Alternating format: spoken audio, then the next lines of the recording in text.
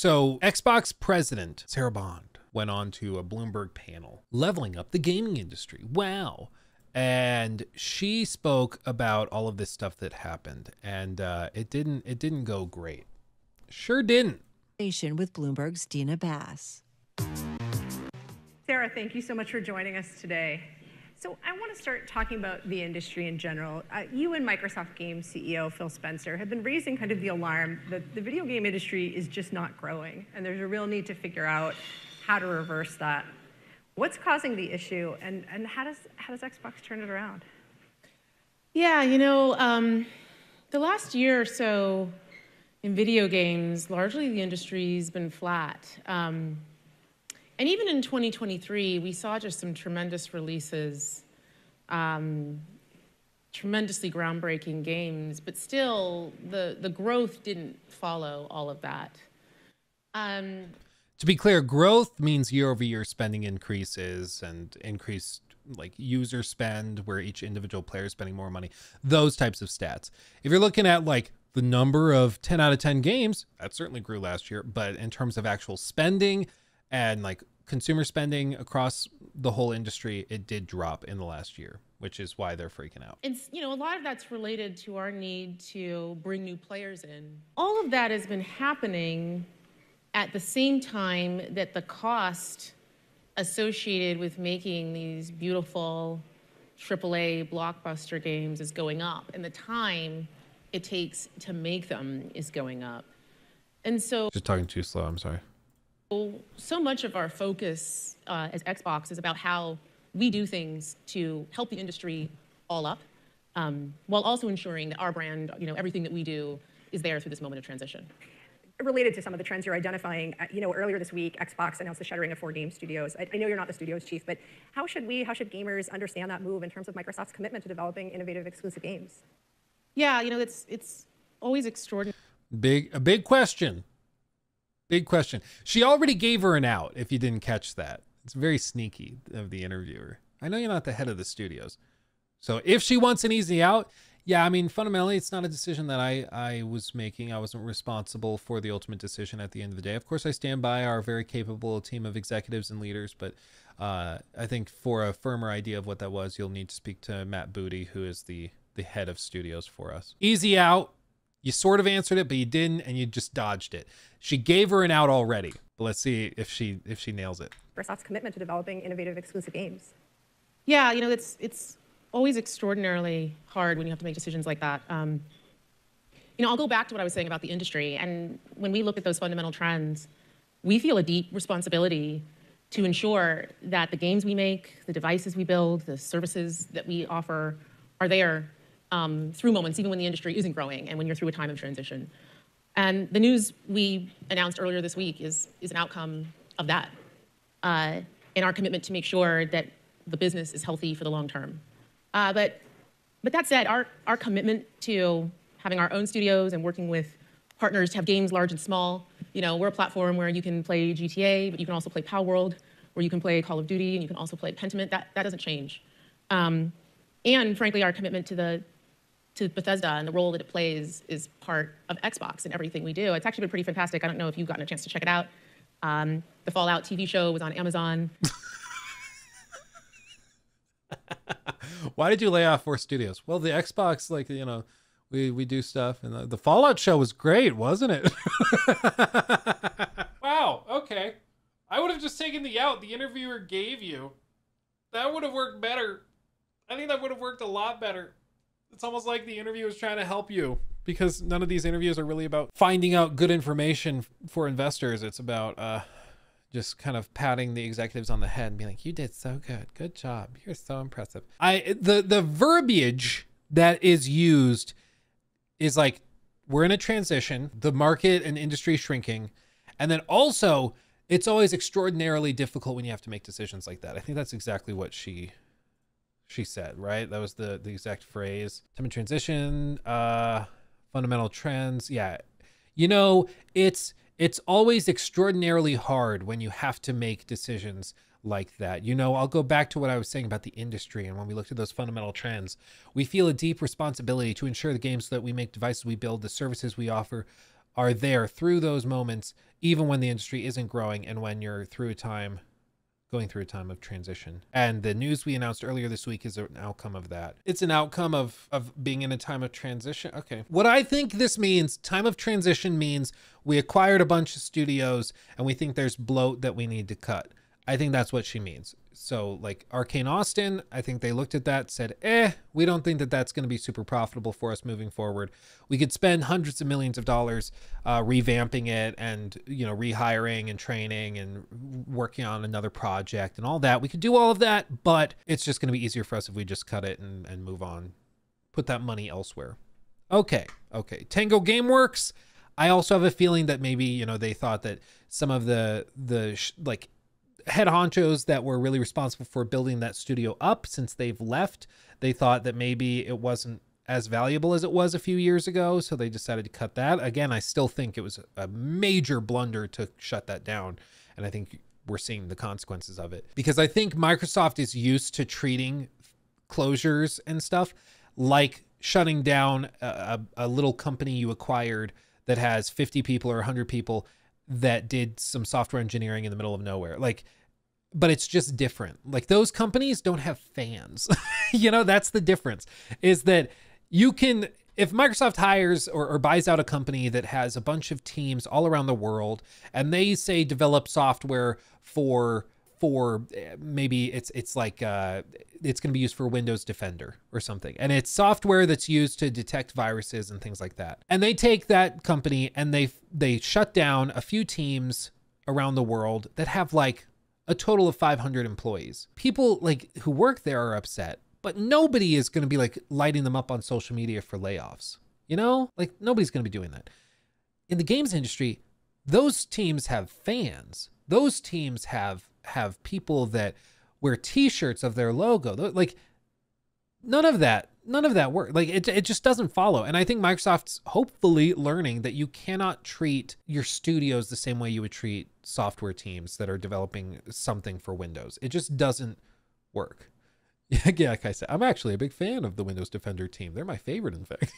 Can you imagine like walking around like wearing a windows 11 alpha build team t-shirt? Like yeah i love those guys. Did you work with them? No no i just love their work like what it would be weird but like that's how microsoft's approaching this and they just have to learn that it, it doesn't work i think honestly you know they said we had to make a decision like that it's always extraordinarily hard when you have to make decisions like that. And here I knowing Microsoft as a company, I I think it's fair to say that the the mandate for the layoffs probably came from above them. It probably came from Satya and the CFO and they were told you need to lay off 8% of staff, whatever it is. Like they, they were probably told they need to do that. And that was the command from the people higher up, from their bosses. And in a corporate company, any company, when your boss tells you to do something, you have to do it, even if it sucks. And so I think they probably were strong armed into doing it. Uh, because if they don't do it, someone else is going to come along, take their position, and do it. Like it, it, that's just how it is. When your boss tells you to do something, you have to do it. And so I think they probably were told you have to fire people. I just think they chose, in the form of Tango Gameworks specifically, I think they chose the wrong team to do it. And I will say, like, people have said, oh, but this is a $3 trillion company and they're laying people off. Cringe. Like, I think that's the stupidest freaking counter to this and it's because they're a $3 trillion company because they do stuff like this. If they didn't lay people off to keep budgets super, super precisely in line with expectations and investor expectations, they wouldn't be worth $3 trillion. Like that's why they're worth that. It's because they do stuff like this. You know, people that, that have no idea what they're talking about when it comes to corporate finance, they'll look at it and they're like, oh, well, well, you know, they have plenty of money, so they could definitely do it. You're right. They could if they wanted to. But the reason they're worth $3 trillion is because they don't do that stuff. So for them to flip it and then start like, well, yeah, this company, this team isn't profitable, or we don't think we can make money over here, uh, and yeah, our margins are really low, but we're just going to eat it because we're a big company and we can we can do that.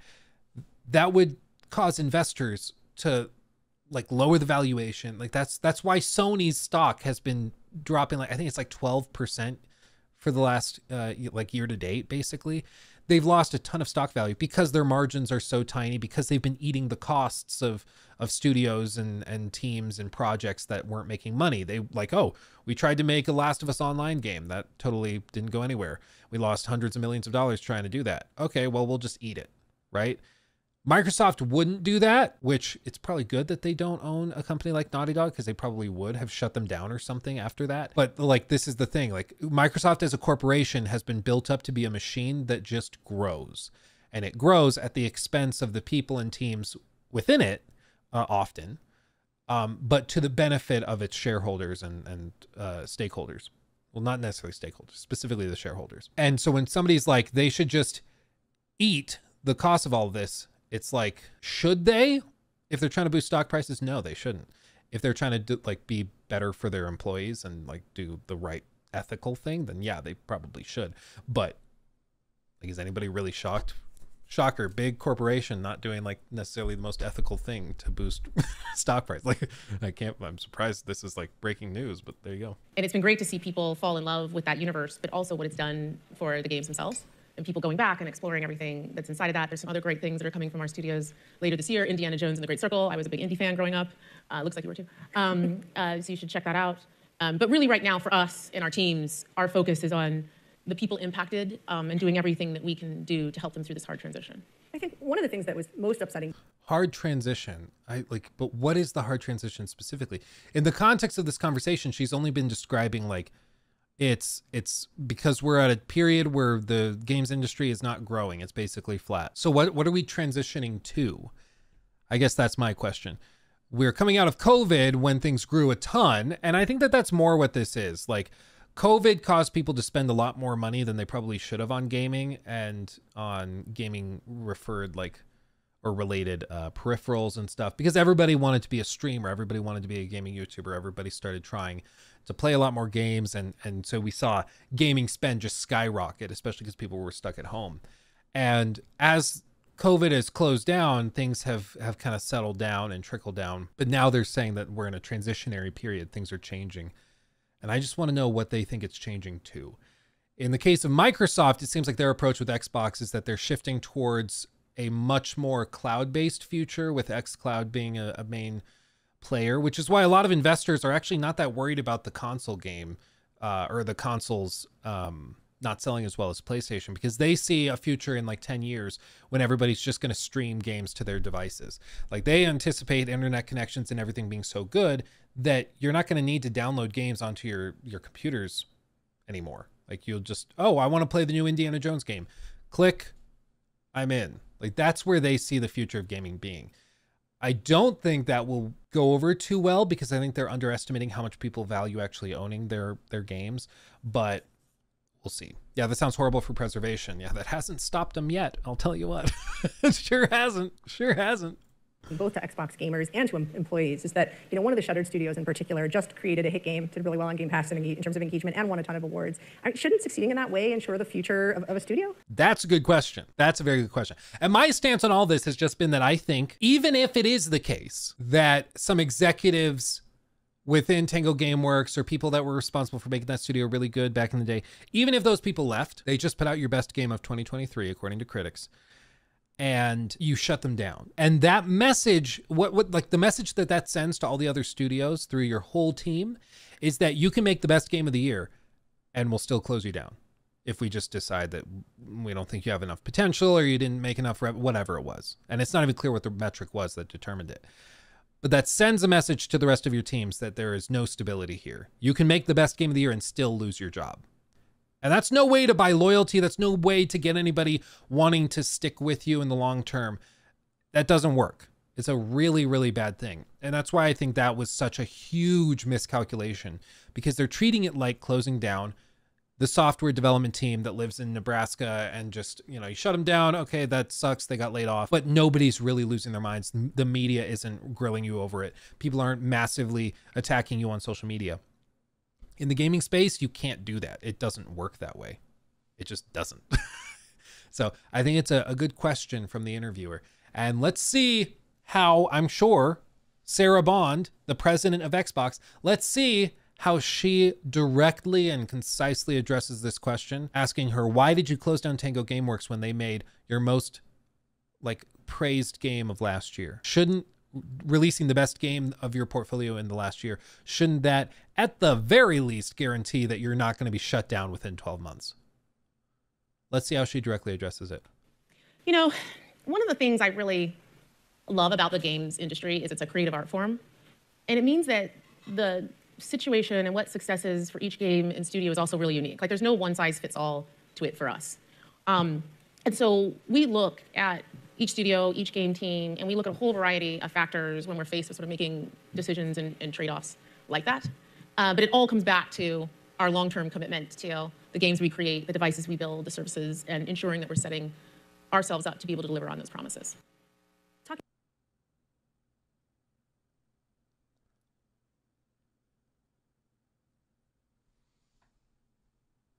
I'm sorry. I think I just blacked out. Did she not answer that? like what?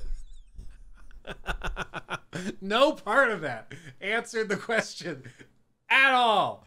No part of it. Like, yeah, we just want to be set up in the uh, games with different quality capabilities to be uh, performance focus areas for Xbox. Next question, please.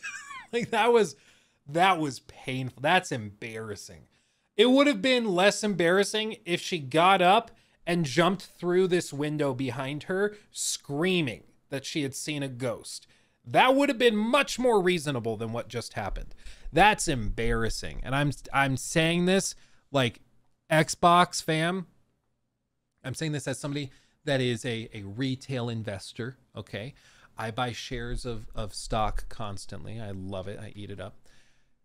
If I were looking at buying shares of Microsoft and I heard that answer, I would seriously doubt and question the uh, capabilities of the leadership. If you're asked a, a direct question, shouldn't your teams be given some more stability if they make the best game that you had last year? Uh, in terms of critical reception, shouldn't that at least guarantee them a little safety? And you just straight up de- decline to answer the question because honestly, there is no good answer there is no good answer. I mean, other than saying, listen, a lot of the executives and people that were there that we thought added the most value to Tango GameWorks, they had left um, in the last couple of years. We love Hi-Fi Rush, but we were not confident the team would be able to do something on that level again. So we decided to lay off the the team. In addition, it's a it's a Japanese studio. We didn't feel like we had the the means to reasonably oversee all of the studios under the ZeniMax umbrella without it causing more trouble than it was worth, so we just decided to shutter it. If she had said something like that, at least that's an answer. But instead, she just straight up refuses to answer. It's ridiculous. It's ridiculous. But Luke, uh-huh, ahem, AI, AI, AI, AI, their stock go up. Boom. Yeah, I mean, basically, it's it's just it's ridiculous. I mean, it's ridiculous. I mean, the the old meme is that it's it's like corporate speak, corpo speak, where like they bounce around and say stuff. It's like, uh, you know, Mr. CEO, is it true that you've been grinding up baby chickens and puppies to turn them into McNuggets? And the CEO goes, You know what I love about our food is that our food comes from all around the world, and we work with our talented team of chefs to produce food that people find delicious and love and we sell millions of dollars of it every single day. And i just find that to be utterly remarkable. And you know it shows that as a company we can span the globe and take pieces from all over uh, you know whether it's it's meats from all different animals or if it's plants from all over the world and we can bring them together and distribute them to a new group of customers around the planet. It's really a beautiful thing. And you're like wait but but are you making me eat baby cats and dogs? It's like um uh, it's a beautiful thing that we're doing. it just doesn't answer the question at all, but it just spins and spins and spins. And that's basically what just happened. And it's a, a staple of of corporate stuff. Um, and it's it's really sucky. You know, we when I was in college, we did a, a class um that was it was under some other name but it was it basically turned into like corporate pr and it was like what happens when you uh, have a company that like really screws up how do you handle those catastrophes and stuff and it was interesting because basically it just came down to well we we uh like like you maybe acknowledge the question and then you bring up something positive and you you spin it into how your company does that positive thing that's tangentially related to the bad thing that happened or that you're accused of and then you just stop talking. And then the interviewer 95% of the time gets really uncomfortable and we'll just move on to the next question because a lot of interviewers and and journalists are not the types to like press extra hard you know she just if I were interviewing her, which this is precisely why I would never be allowed to interview her, but if I were interviewing her sitting on stage right now, I'd be like, respectfully, uh, Miss Miss Bond. Uh, I don't know if she's Mrs. or or Miss, but respectfully, Miss Bond. That did not answer the question. Shouldn't studios have some semblance of stability if they released your most critically praised game in the last year? Shouldn't that, at the very least, guarantee that they won't be shuttered within 18 months? And then you just keep pressing until you get an answer. And if she ends up saying, "Listen, we're just we're not going to talk about the decision to close the studio. It's just not something we are prepared to discuss today." Make her say that. And then at least she's stating clearly she's not going to answer the question instead of doing this weird thing where like she bounces around and pretends like she talked about it and answered it when it just doesn't do anything. Like this has been roundly mocked and for good reason. Yeah, share your thoughts on the recent closures of the four studios. Sarah, Fallout TV series was great. Interviewer, talk about why you closed four video game studios. Cordy, this woman will receive millions of dollars by the end of this year, while hundreds of devs will lose their jobs. F this shiz. Xbox and Microsoft love to deflect, take no responsibility for their own failures and mismanagement instead of blame it on the market. What a joke. She's completely defeated. She has no answers. She's great at giving non answers. There is something truly distasteful about somebody working at such a high position who doesn't even care about the industry she's in. Uh, I think, what was her background? Where's she from? I think she's from Call of Duty. Is that where she's? She got started. Let's see. Commencing her career as an associate partner at McKinsey and Company, transitioning to T-Mobile, Bond held key roles, including chief of staff to CEO John Legere, who is that T-Mobile guy, and late senior vice president of corporate strategy and development. In 2017, Bond joined Microsoft, starting as a corporate vice president overseeing the gaming business development and partnerships at Xbox. She later assumed the position of corporate vice president of game creation or game creator experience and ecosystem. Notably, Bond played a pivotal role in representing Microsoft during the scrutinized bid to acquire Activision Blizzard, including testifying at the 2022 FTC versus Microsoft trial. I think that's the main reason she's where she is, is that she took those blows while getting the acquisition across the board. But I thought I thought she was from Activision. I didn't realize that she has no experience there. She's from a management consulting firm that then went and started working with uh, T-Mobile, and then she was brought on to Microsoft from there. In 2022, she received Visionary Award from GamesBeat in 2022 for her contributions to the industry. And then in 2023, she was promoted to president of Xbox, reporting directly to Microsoft Gaming CEO Phil Spencer. What has she contributed, though? That's like, I genuinely don't understand. Our first winner Sarah Bond, Vice President for Game Creator Experience and Ecosystem, which, what does that even mean? Let's see. Sarah has continuously moved with purpose and vision through the games industry. She has cultivated a gaming experience that is as cutting edge as it is diverse. Through her contributions to Xbox, we are able to see the future of gaming reflected in mentorship and leadership. Recognizing Sarah for her hard work uh, was an obvious choice when thinking of someone in the game space who has consistently made her visionary work a reality. Sarah has proving or has been paving the way for a culture in gaming that is rich in experience and has depth in its diverse partnerships. They can't name like a single thing that she's done though. Oh my god. We also have a video presentation from John Riccitiello, Ri- Riccitiello, CEO of Unity with some words about Sarah. Uh, do you know who this guy is? Do you remember this guy? This is the guy that just retired and resigned in disgrace after blowing up Unity. That's so funny. That's so, so this is the guy that they used as, as the explanation for her fantastic accomplishments. You can't make this stuff up, dude. You can't make it up. He said, Yes, her accomplishments prove she has the intellect, the brain, and the drive. I'm here to say she also has the heart. She's the full package. And then he charged everyone who heard him say that a dollar. Uh, in her acceptance speech, Bond said, I am just incredibly humbled and proud to accept this reward. In life, we all have the power to imagine and dream about a better world, and I find myself doing that a lot these days, especially all that we have been and continue to go through over these past two years. But what I want to talk about today is how I believe we can move from dreaming to actually building a better world and the pivotal role that games and in everyone who makes games plays in making that possible. I fundamentally believe that the foundation to a better world is empathy. Bro, that is aged so badly. Have empathy to make the world a better place. Also, you're fired. it doesn't make any sense at all. Wow. Okay. I I'm just normally you can look at like those awards and you can figure out like okay, they were responsible for this, this, and this, and that's why we gave them this award. I, I'm not seeing anybody outline anything that she's done. Dinga Bakaba, who is the studio director at Arkane Lyon, uh, this is the guy that also tore them a new one when they just closed Arkane Austin. But those are the two people that won these these like visionary awards. I just I, I'm genuinely confused. I don't know what she's done that has got her to this this role. Like it's not like she's run a company successfully herself. It's not like she's she's done anything that stunning or shocking. She was at a consulting firm, was a chief of staff under T-Mobile CEO, and then went and worked at Microsoft and then was promoted to president. Like, how did she get there? I don't get it.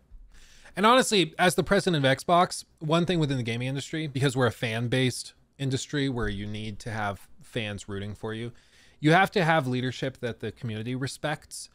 Otherwise, like the community roots for your downfall. And that was one of the things that happened. Like once the community identified Jim Ryan as like a snake uh, and as somebody that was just a corpo trying to push for live service crap at the expense of everything else, his days were numbered. Like you were just gonna, you were never gonna find a lot of success with it. But it's why somebody like Shawn Layden was beloved. Same with like Reggie Fils-Aimé, and they were able to lead their companies to all-time highs while they were at the helm. And right now, you can see the the fans of this industry have turned on Phil Spencer and have turned on Sarah Bond. As far as I'm aware, there's there's almost no respect for Sarah Bond because she also doesn't seem to be an actual gamer. She at least knows the names of games that they've got on their platform, like Pentiment, which is a deep cut. That's a good one to reference.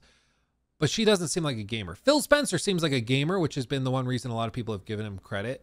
But I, as far as I know, she's like she she doesn't she doesn't do anything. And I just want to know why she is the best person to run Xbox as the president of Xbox. And it doesn't seem like there's any answers. You're just supposed to like smile and nod, which is weird to me. Um, Matt Booty at least has been exposed to the gaming side of things for a very long time, as has Phil Spencer. He's worked within Xbox for ages, but I don't know why she specifically is a good fit for the gaming side of the business. It just doesn't really make a lot of sense. She's probably competent from an executive point of view. Yeah, no, I'm, I'm sure she's very capable. I mean, you you do not get this is one of the misconceptions. You do not get to an executive position without being talented in multiple ways. To get there, you have to be capable. Like somebody like Satya Nadella, don't give two craps about anything other than your performance and abilities. Um, I think she's a corporate suit, which is my point. I, am not saying that she shouldn't have a job, period. I just think that she is not actually like a gamer's advocate or anything. I think she's probably much more of the corporate um, big wig than she would like to let on. Yeah, so somebody posted this. And so some of these are leaked, some of these are rumored, some of these are confirmed. But if you look at all these these different teams and stuff, the question is if you were told by Papa Satya that you need to shut down four of these studios or three of these studios, whatever it would be, what do you pick? If you are Xbox leadership. Like that's where it's it's a little tougher because it has to be in something you own. It's almost certainly not going to be any of these because these all are your money makers. Toys for Bob maybe with Crash Bandicoot and Spyro, but those I think are rumored or very small teams. Blizzard, almost all of these make good money. They've rumored, I think they've canceled the survival game. I don't know if that was confirmed yet. Uh, I think they did though. But yeah, inXile is working on Clockwork Revolution right? I think this is an older graph. Uh, yeah, June of 2022. So there's there's a lot more going on. This is like two years old. But if you have to pick teams within this to lay off, like it's gonna be a little bit tough. Like it's gonna be tough to come up with who you lay off. And I think that that's the tough spot they found themselves in is they're like, yeah, we can lay off some of these. And like I think Arkane Austin, that one made sense. I think they're like, yep, that probably makes sense. Get rid of them. And then Roundhouse I think also was closed, so they got shut down. Uh, Tango now is shut down, and then the the one of the mobile studios got shut down. But I I just think Tango GameWorks was specifically the worst one to pick because they made the best reviewed game of last year.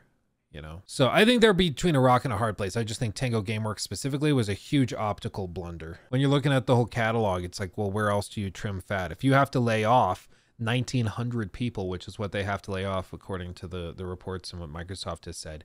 They've got to find 1,900 jobs to cut because this is how it works. If you're the CEO or president of Xbox and you're told by Satya and the CFO and everybody, you're told you need to cut 1,900 jobs. This is what you're playing with, and then some. But like you're looking at this, what do you pick? Where do you cut? You got to come up with 1,900 jobs maybe 50 from here. You close down 10 people over here. Maybe shut down this particular team or that like whatever it is. But you got to find it. And i think that's the tough spot they were in. And my point is not like i don't think it's fair to blame phil spencer and uh, sarah bond and matt booty for the fact there are layoffs because i think that that's coming from above them. What i think is fair to be upset with them over is that they're choosing developers even that put out the best game they had last year and they're shutting them down. Redfall colossal flop. They get shut down. Tango Gameworks, best game they had last year, they also get shut down. And it's just a bad look. He took my thing. Red, red flag, red